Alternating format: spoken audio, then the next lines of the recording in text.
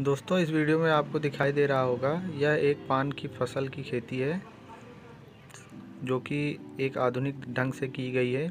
ज़्यादातर आप देखते होंगे कि पान की खेती जो है, वह ग्रीन हाउस में होती है, परंतु यहाँ के किसान जो हैं, वह अभी भी देसी जुगाड़ करके पान को बहुत ही अच्छी तरह से पैदा कर लेते हैं और उस अच्छा मुनाफा भी कमाते हैं।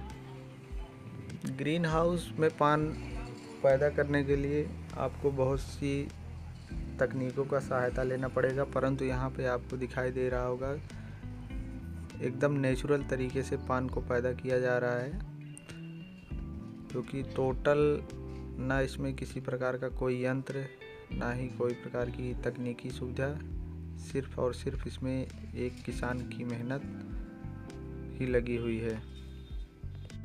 पान की नई खेती करने के लिए मार्च एवं अप्रैल का महीना बढ़िया माना गया है।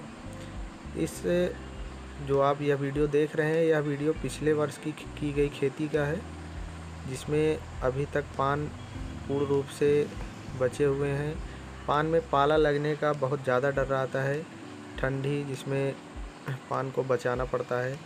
इसके लिए हमें अच्छी फफूंदनाशक दवाइयों का स्प्रे करना चाहिए और पान एक कोमल फ़सल होता है, इसीलिए इस पर बिना जाने समझे किसी भी प्रकार की कोई दवा स्प्रे ना करें।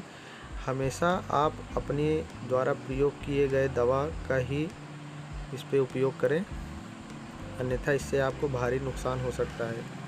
पान में भी अनेकों प्रकार के बीमारियाँ जैसे कीट और तमाम प्रकार की फफूद जनित बीमारियाँ का प्रकोप इस पर हमेशा बना रहता है।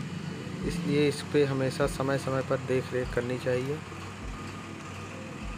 पान की खेती हमारे यहाँ उत्तर प्रदेश में लगभग कई ज़िलों में होती है, जहाँ जलवायु थोड़ा सा अनुकूल होता है। इसको ना ही ज़्यादा ठंडे जलवायु की ज़रूरत होती है, ना ही ज़्यादा गर्म। गर्मी में इसे लगभग दिन में दो तीन बार सिंचाई करते हैं। सिंचाई करने के लिए लोग फव्वारा विधि का इस्तेमाल करते हैं। आज के वीडियो में बस इतना ही। अगर आपको यह वीडियो पसंद आई हो तो लाइक ज़रूर करें। चैनल को सब्सक्राइब करना न भूलें। मिलते हैं आपसे अगले वीडियो में। तब तक के लिए जय जवान, जय